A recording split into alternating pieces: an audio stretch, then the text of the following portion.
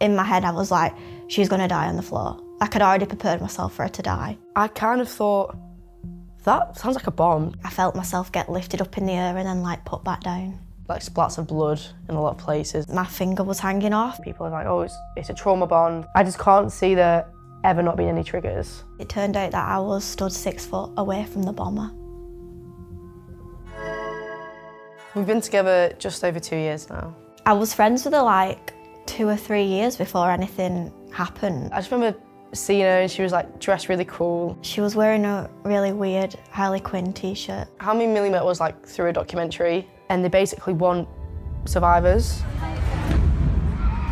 Oh my God. A suicide bomb attack in Manchester city centre at the Manchester Arena. 22 people were killed last night and more than 50 people were injured.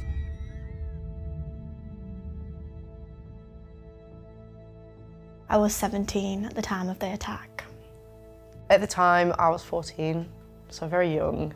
I'd never been to a concert without my mum before Ariana, so this was like my first concert on my own. It was like this like big countdown and everyone was like dead excited. Everyone was like just dancing and singing and having a good night. You know the song One Last Time? It was genuinely my favourite song. It's not anymore. Yeah, I think if it came on the radio, I'd, I'd probably turn it off. We actually left before the last song, I think. We was coming through the foyer and um, we was getting ready to leave and I remember I had my phone in my hand and I was with my friend and I was like getting ready to message my mum and be like, oh, the concert's finished. I actually like took a photo on my, my uh, like on Snapchat and I was like, oh, this has been like the best night of my life. As I was watching everyone leave, like I just like heard this like really like dirty like bang. I kind of thought, that sounds like a bomb. And do you know, at 14, like who was thinking that? I felt myself get lifted up in the air and then like put back down. The first thing I thought was something really bad's happened. I didn't know what had happened, but I was like, something really bad has happened. We need to get out. Kind of went into like fight or flight. Oh my God. After that, there was just like silence. Everyone froze, like nobody moved after that. Like it went off, then everyone was just stopped. And then all of a sudden, everyone just ran again, sprinting everywhere, like jumping over people. I saw like everyone on the floor and everything, and that's when I was like, something really bad has happened. You know, it was like a like splats of blood in a lot of places, which was I was thinking like, what is going on? I went into like right, get my friend up off the floor, and then she stopped running because she was losing a lot of blood, and I was like, give me your phone, I need to call my mum. I took my friend's phone out of her pocket. I tried to open the phone, and I was like, oh, like it won't open, and then it wouldn't open because my finger was hanging off. It didn't hurt because I had so much adrenaline. A member of the staff came over to me. I was like, I just need to know. Just tell me if I'm going to lose my fingers. My sister was crying at the top of the stairs. My mum basically was like, you just go. I got on a bench and I was like, mum, like screaming it at the top of my top of my lungs. And then as soon as I found her, like there wasn't any time to like hug or anything. She was like, right, we're going and we're going now. The whole time we were driving, there was just like police car after police car and like ambulance. It turned out that I was stood six foot away from the bomber.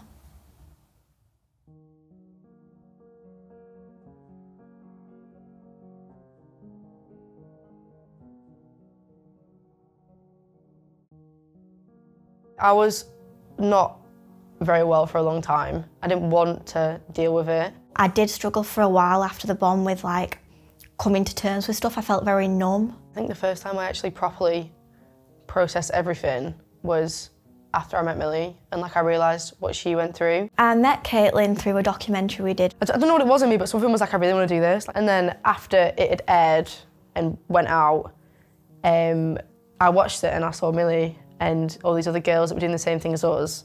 And I remember all the girls were getting on and like me and Caitlin just like got on straight away at first. I just remember seeing her and she was like dressed really cool.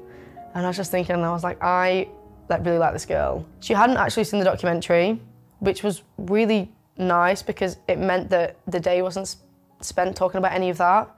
Well, I think Caitlin's always fancied me. Not in a cocky way, but she has said it a lot. And I didn't even know that she was gay for quite a while. I was friends with her like two or three years before anything happened. I was like in a pretty like rubbish relationship. Caitlin was just like, oh, I would treat you better. And I was like, would you? And then that's when I just thought, oh, maybe she would. I was like implying it, like how I was trying to say to her, like, you can be treated better than this. And then on Valentine's Day, we was like, oh, should we meet up? And then I was like, before like you open your card, like I just need to tell you, like, I do actually really like, you know, I do actually really love you. Like I feel like I've you know, always like liked you and And then that's when she asked me to be a girlfriend. who says they love you on a first date. And I was like going in to kiss her and like she kind of like, I didn't really know what happened. And then she kissed my eye. And that was it.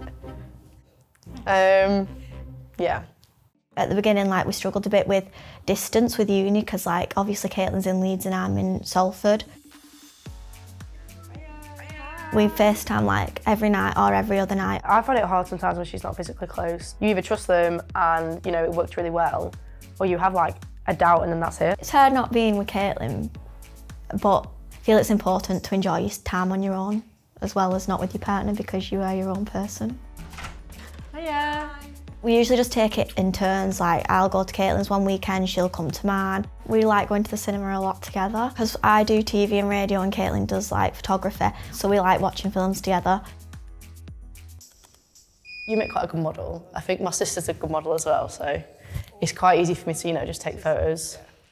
When I watched documentary for the first time and saw you in it, I struggled really bad with Survivor's Guilt, and I thought, you know, I wasn't injured. No, you actually looked cute. To have you talking about and saying how you um, feel similar, but you know, was injured, it kind of helped me see that like everyone feels things and everyone goes through it, like no matter how you've been affected by it. Like if you've been affected, it's still okay. How you feel and your mental health is your own, rather than you know you don't have to compare it to anyone else. The fact that we've both been through the bomb really helps us like understand each other. So if I'm having a bad day about it, Caitlin's the only really one who can understand, to be honest. Like um, she can comfort me about the trial and stuff like that. Like she's the only one who knows. Like when I went to court about the inquest, she came with me and supported me. We had to go in suits and I had to watch Millie give evidence. I got to hear all of her experiences firsthand and it isn't the kind of thing that we've ever sat down and spoke about before. I can't believe you've never seen this. Today we're at the Glade of Light in Manchester, which is a memorial for the victims of the Manchester terror attack. When I came on the anniversary, obviously it was a very emotional day, but like when I came here, it felt like peaceful. And I feel like everyone kind of around knows as well. Like Yeah. no one's really like, you know, shouting or anything. No, or, it's it does. It just feels like yeah. peaceful. In crowds and stuff like that, it helps that Caitlin. I don't have to say it to her, but she's automatically aware. Like I might feel a bit overwhelmed with a crowd. I think it really, really helps that we both um, kind of know what we've been through. Say if we were out in public and like you get a little bit quiet, you know, it might be because there'd been an ambulance go past like really loud and you'd be a bit like, oh my god. This kind of like just being there for each other, but like silently. She's very um, good at knowing what stresses me out and knowing when I'm getting too overwhelmed. When the anniversary came around last year, I think it's a hard day anyway, so that is a, that's an example of where we're both struggling. I don't know if I ever won't find anything hard. There's always something that creeps up. I just can't see there ever not being any triggers.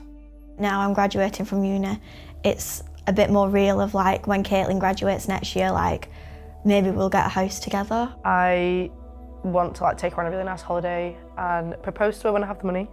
But you know, don't be having. I'm not having that on a student loan. What happened to us could have ruined our lives and we could have really let it affect us. We've made the most of a very bad situation, we've turned it into love.